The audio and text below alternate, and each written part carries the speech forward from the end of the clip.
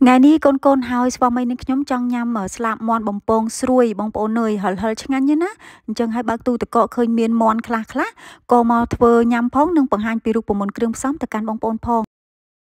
បើនិយាយពីមាន់បំពងឬក៏ស្លាបមាន់បំពងឲ្យតែគ្រឿងបំពងបងប្អូនអើយភាកច្រើនគឺមនុស្សគ្រប់គ្នាច្រើនតែចូលចិត្តដោយសារវាស្រួយវាក្តៅងុំហើយវាឈ្ងុយឆ្ងាញ់មែនទែនណាអញ្ចឹងហើយឥឡូវថ្ងៃនេះចាស្វាមីហើយកូនកូននេះខ្ញុំក៏ចង់ញ៉ាំអាមាន់បំពងនេះ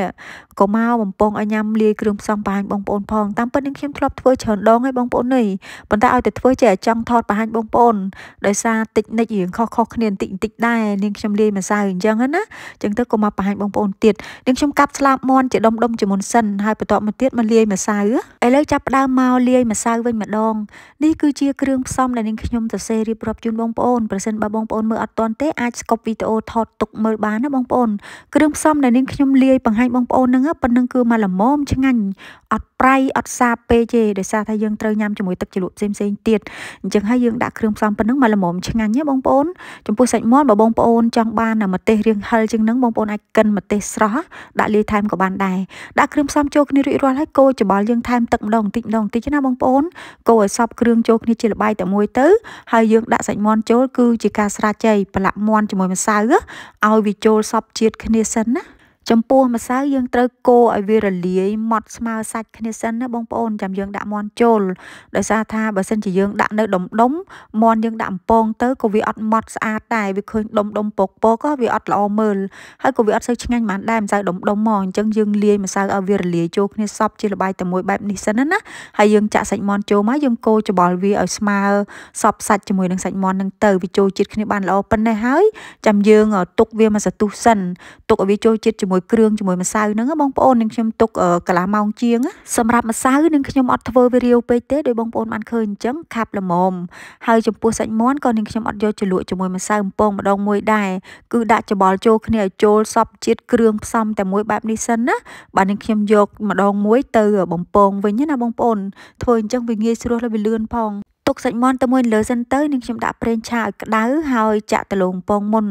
រដងឲ្យតែនាងខ្ញុំពងសាច់មាន់គឺនាងខ្ញុំតែងតែញ៉ាំជាមួយនឹងដំឡូងពងបែបនេះអត់ច្រើនញ៉ាំមួយបាយទេយូរយូរញ៉ាំមួយបាយម្ដងអញ្ចឹងណាបងប្អូនញ៉ាំចេះវាឆ្ងាញ់ជាង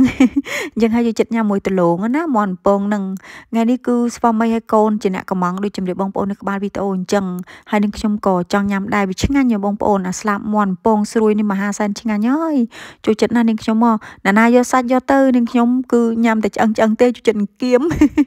សម្រាប់ដលងពងនេះនឹងខ្ញុំបំពងពាក់កណ្ដាលសិនណា50%ឲ្យវាឆ្អិនប៉ុណ្ណេះសិនហើយស្រង់វាឡើងសិនយើងបំពងមាន់អញ្ចឹងបើយើងបំពងដលងឆ្អិនយកតែម្ដងវាត្រជាក់អត់ឆ្ងាញ់ហើយយកបំពងទៀតក៏វាកាន់តែលែងឆ្ងាញ់វាស្វិតសាច់វាលែងផ្អែមហើយអញ្ចឹងម្ល៉េះហើយនឹងខ្ញុំបំពងឲ្យវាឆ្អិនពាក់កណ្ដាល50%នឹងទៅ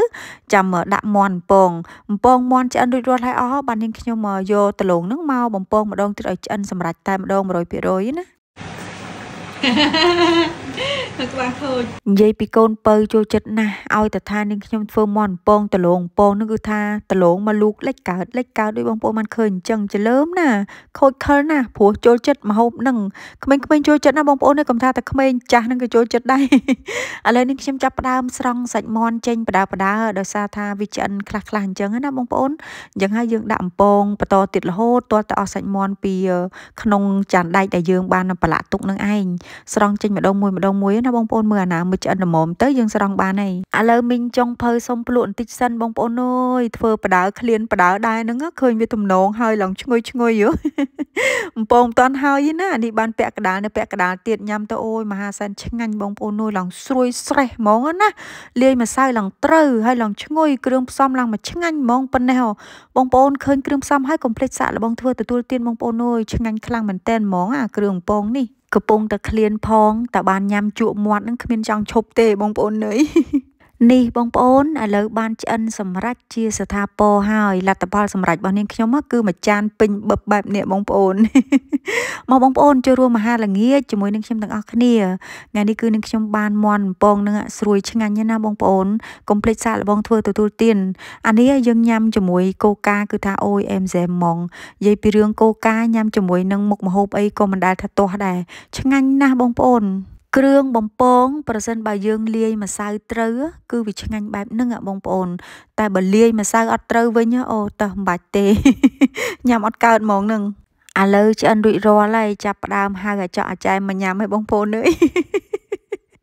អើយនិយាយលេងបងប្អូនឯងកុំប្រកែប្រកាន់និយាយឲ្យទៅបានសើចចឹងណារៀបចំដាក់លើតុដើម្បីញ៉ាំជុំគ្នាបងប្អូន ដំឡូងដែលឆ្អិនបាន50%ឥឡូវនេះខ្ញុំចាក់មកបំពងម្ដងទៀតដើម្បីឲ្យវាក្តៅឆ្ងាញ់ដូចជំរាបបងប្អូនមុននឹងអញ្ចឹងណាឥឡូវនេះគឺបានឆ្អិនរួចរាល់ហើយបងប្អូនអើយឡងស្រួយស្រឹបហើយឆ្ងាញ់ហើយឈ្ងុយហ่ะនិយាយទៅនឹងខ្ញុំចូលចិត្តញ៉ាំមាន់បំពងជាមួយដំឡូងបំពងបែបហ្នឹងហ่ะ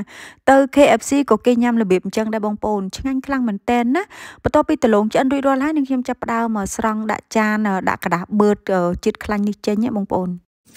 ហូចចេះណា តើឆ្អិនមិនឃើញមុខនេះឆ្ងាញ់ហ៎កូនយកយកហ្វ្រីតទៅកូនអូយគេវិនឆ្ងាញ់ណាស់គេវិនចូលចិត្តណាស់កូនឲ្យលេខម៉ានអាហ្នឹងលេខ1គេចូលចិត្តគេណាឆ្ងាញ់ទេពូហើយក៏មិនឆ្ងាញ់ក្តៅក្តៅ ចូលចិត្តណាស់ម្នាក់ម្នាក់មន់ពងដលងពងនឹងថៃក៏មិនឆ្ងាញ់វាឆ្ងាញ់មែនឆ្ងាញ់ណាស់អឺអឺស្រួយដល់ខ្ចាយអឺអឺជួយខ្ញោក